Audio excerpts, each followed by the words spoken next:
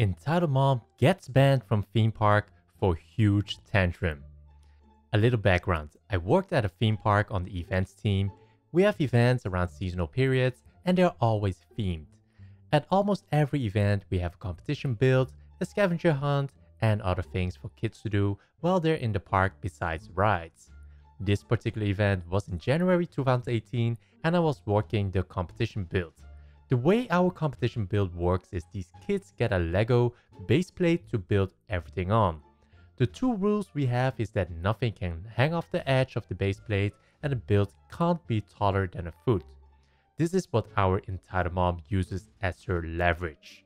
I had just returned from lunch and I saw that somebody had built an amazing build. It was a dragon that had a moving tail, arms and head. It had lots of detail and followed the theme it was definitely going to win. We were only open for about another hour and we didn't think anybody else could build something good enough in that time frame. Enter our entitled mom. She had two small children who started building at our competition. Like we normally do, we were talking to the kids and the mom trying to give them a great experience. The dad jokingly said to us, You know, when you see builds like that, the dragon, it's like why even try? But hey, if the kids are having fun, so be it. Entitled Mom finally sees the dragon built. EM, oh wow, he must have brought pieces from home. Me, actually, used all the pieces we have on the table. EM then proceeded to look at the dragon very intensely.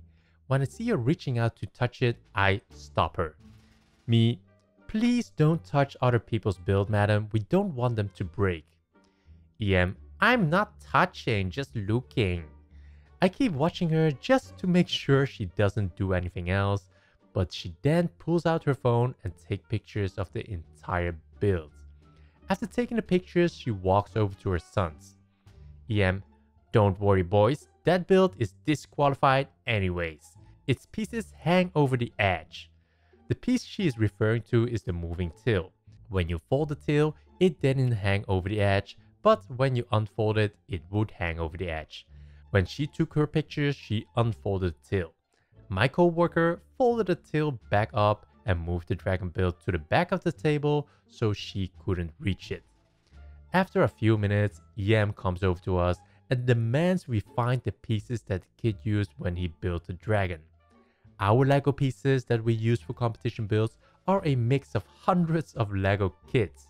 There's absolutely no guarantee of any type of pieces.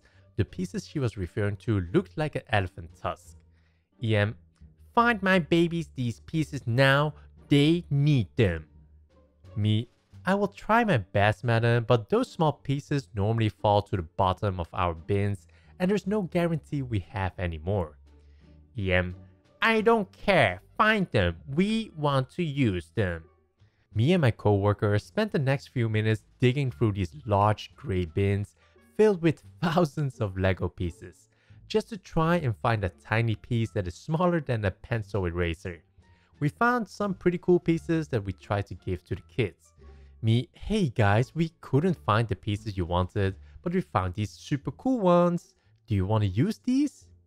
Entitled Kid 1, no, we want the ones that are on the dragon entitled kid to, yeah, it's not fair he brought his own pieces from home. Entitled mom, you're making my babies upset. Since we can't use pieces we brought from home, can we use the pieces from inside? We were outside a building that had more Lego inside. Now, the pieces that were inside were fake, dirty bricks, no specialty pieces, plus they didn't belong to my department. Me, uh, sorry madam, those pieces don't belong to the events team. We can't use those. Plus, none of those bricks are the type of pieces you would want either. EM, this is so unfair. My babies aren't gonna win and it's all your fault. After this, I kind of shut down. I walked away to talk to some other kids who weren't little brats. We had about 15 minutes before we were going to close the competition. During this time, my boss came to help us start closing. When she arrived, I let her know about our EM. Now, I love my boss. I've worked with her for a very long time. She's the main reason why I haven't quit yet. My boss has an issue with entitled parents, especially parents that put other kids down to bring their kid up. After I let my boss know that she has been touching the dragon build, she stood in front of the table and blocked the dragon build. Again, EM decided to try and touch the build. Boss, please don't touch other children's builds. EM, I'm not, I'm just looking. Did you know this build is disqualified? Even if it was, we don't like to tell little kids their build was disqualified and break their hearts. EM did not like this. She went back to taking pictures, but not of the build, but she started taking pictures of us. My boss, being very sarcastic, told her to make sure she get her good side. Me and my co-workers jokingly posed while she took pictures of us. The time hit for us to close and instead of EM leaving like the other families did, she sat there and watched us. EM, when do they come out and judge them? Boss, you will be notified by email only if you win. Normally when we close, we put away all the Lego and take apart all the builds on the table after selecting a winner. Since EM wanted to sit there and watch us, we had to carry this giant table with all the builds on it inside the building and into an employees only room just so we can take them apart. We kept going outside to continue cleaning up and EM kept watching us. She followed us around and videotaped everything. I assume her husband went somewhere with her kids because they were gone. After we moved everything inside, we took pictures of the dragon and her children's build. My boss called security and let them know about her stalking us.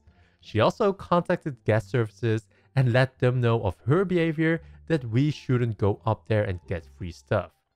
While we were taking apart the builds, guest services radioed us. They already knew the lady we were talking about by name.